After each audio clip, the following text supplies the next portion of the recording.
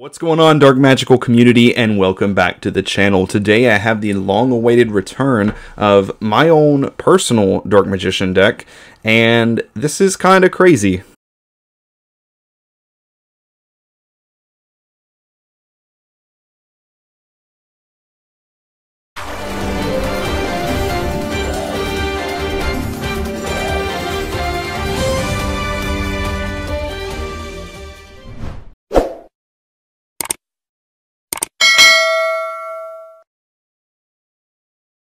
What's up, guys, and welcome back to the Dark Magician content.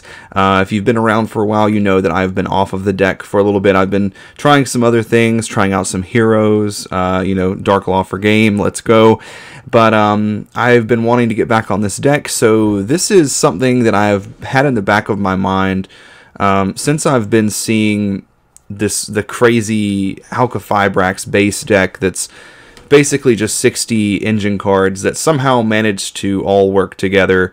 Um, I uh, we're gonna jump into this deck profile here, and I'm gonna go over some things about this deck, and we're gonna also talk about how I feel like Dark Magician has more issues than one, uh, especially right now. So, uh, before we get started, uh, as always, make sure that you like, share, comment, and subscribe. It just motivates me to make more Dark Magician content, more Yu-Gi-Oh! Journey, more hero content, things of that nature. And also, if you are new here, don't forget that we are doing a playset of Magician Souls from Brothers of Legend giveaway for achieving our goal of 1,000 subscribers. We are so close. We hit over 900 this morning, so we are on the home stretch to 1,000. So that is definitely going to be coming up soon. You want to make sure that you get your name in the pot for the chance to win a playset of Magician Souls. So, without further ado, We'll go ahead and jump into this deck profile. So starting off, we have two copies of Apprentice Illusion Magician, two Ash Blossoms, one Dark Magician Girl, three Effect Veiler, two Eldlich the Golden Lord, three Ghost Ogre, three Girsu the Orcust Mekk-Knight, one Magician's Rod, three Magician Souls,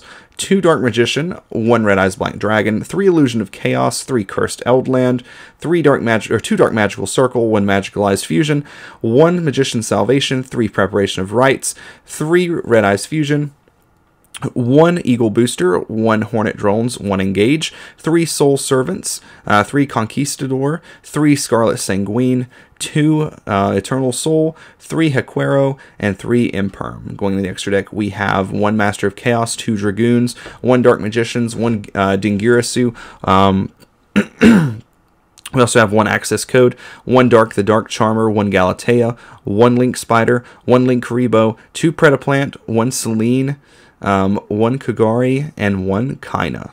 So, one of the biggest issues that there is right now with Dark Magician is the fact that every deck is playing I feel like more hand traps than I've than I've seen in quite some time. Um, I have not resolved Predaplant Verte Anaconda in weeks. Um, even the Dragoon that I summoned through Red Eyes Fusion, uh, at least eight times out of ten ends up just getting destroyed by Forbidden Droplet. Um, so I think Dark Magician itself, this is a very hard format to be playing Dark Magician. is pro- probably the hardest format uh, to play the deck in since I have been playing the deck. So I think that you have to compensate for that right now. You notice that we're playing basically the deck is one gigantic engine. So Girasu is kind of like our uh, pseudo called by the grave because they can either ash the effect, and if they don't, we'll just dump another copy of himself. Uh, he's a one card uh, Verte. He's a one card Dharc, which can pretty much result in like a link climb into like Selene into access code. Uh, he's a one card Galatea into Dingirasu to protect like Eternal Soul or out a problematic card. Uh, we max out on like a lot of the best hand traps uh, Ash, Veiler, Ogre. Uh, these are just some of the most relevant ones right now, and I think that they're very, very good. You could also you could make room for Nib, like you could cut Ogre and play Nib. You could cut Veiler and play Nib, uh, also playing Imperm as well. But I think the deck very much struggles to keep up right now, and I'm not even 100% sure if these are the right ratios. Like, I might honestly end up going with something like, uh, like Ghost Spell over Veiler just because of how much the deck really just hard loses to Phoenix Enforcer. So this might actually be better than Veiler. Um, you could try either one. The only ones I definitely keep are Ash and Imperm. And I've always been a person that said that the deck didn't need to play hand traps, but I feel like it's really hard to make floodgates work right now with Phoenix Enforcer. And I mean, you could even go as far as like trying to cut Ghost Ogre. Um, you could cut like Ogre. Oops, I accidentally cut Girsu. Like you could cut Ogre and you could play like three skill drain. Because this is one of the few uh, floodgate traps that really can help deal with Phoenix Enforcer. Uh, so there's a lot of ways that you could build this, and I don't really think either way is right or wrong. So you notice I've switched the deck around a little bit um, through talking about this, just to show you that a lot of the cards really are interchangeable. Uh, it just depends on like your local meta, what you're expecting, because right now there's not a solid answer to the meta. I feel like every deck is just a hodgepodge of hand traps that are just um, good at certain times. Certain times they're not. You know, everyone plays the adventure package with X engine, and the decks, like these crazy 60 card decks, they either fire off or they don't. So it's one of the first formats I've seen where that's really just the case with almost everything. But um, we have a lot of similar engines to like the base deck, like where we're playing the uh, the Eldlich cards, we're playing illusions, we're playing souls, and uh, the synergy here is really nice. So like the souls being able to like send these to draw, and then these cards like replace themselves and give you more beaters. Um, you know, Eldlich being able to send stuff like Dead Circles, uh, Dead Salvation, um, you know, anything like that. So Golden Lord does have some good synergy in the deck, but um, I've been looking for a way to compensate for the current meta, and I just don't think Pure Dark Magician at 40 cards is consistent enough to be able to keep up in today's meta at all. And that's the first time, if you're a long time watcher, it's the first time I've said that on this channel, and I just think it's true. I've tried every way to make like a 40 card Pure Dark Magician deck work, and I think we have to go over 40. I think we have to play the best hand traps we can play, and I think we have to make um, make do with the best traps that we can play. I don't think that Verte Anaconda Turbo is going to cut it anymore because here here's the reason. So most decks their ending combo is Verte. So after they've given you so many points to where you say, I have to Imperm here, I have to Ash here, I have to Effect Veiler here, and they just end on Verte, Sin Fusion, Destiny Summon, DP, where one of our first lines is say like Souls, Rod, Verte, and then they just negate Verte and you just pass pretty much on nothing. Um, and it seems like almost every time I activate Ref, my opponent has Ash. So I just think the deck needs something to help it keep up. And I don't know, I'm not saying that this is the correct route to go, um, but you know, Dark Magician itself as an engine, we've been over this before. Like, I just want you guys to see just like how large the Dark Magician engine by itself is, and like how much room uh, in like a 40 card main deck, like just Dark Magician takes up. We're going to count Red Eyes as a Dark Magician card because it basically is. So we're going to move all this stuff up here, and just to show you here, I also count Prep. Um, Prep's pretty much always a three of, but um, IOC a lot of times he will just play two. Um, let's see. I think we're gonna say three ref because most pure builds play three ref, and we won't even we won't even include the Sky Striker package. Oh my gosh, Ash Blossom is being a pain in my ash. Haha, haha. Okay, so we got Eternal Soul, and we have Magician Salvation. Is that everything? Did I miss anything here? Okay, so the Dark Magician package literally just by itself takes up all of this room. Just by itself, so... So we got 10, 20, um, 28 cards that are just the Dark Magician cards. And this is like minimalizing... Oh, I'm sorry, Engage, I don't know why this is up here. Uh, so 27 cards. Um, or is it 26? Oh my gosh. Okay, 26 cards counting is hard, guys.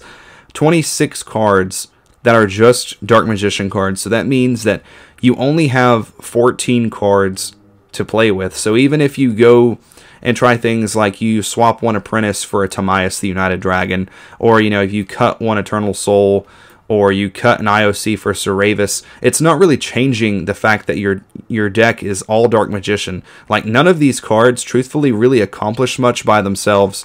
Um, in fact, most of these are actually just bricks. Like these are bricks. Uh, like everything that's like not souls, IOC, prep is like a brick.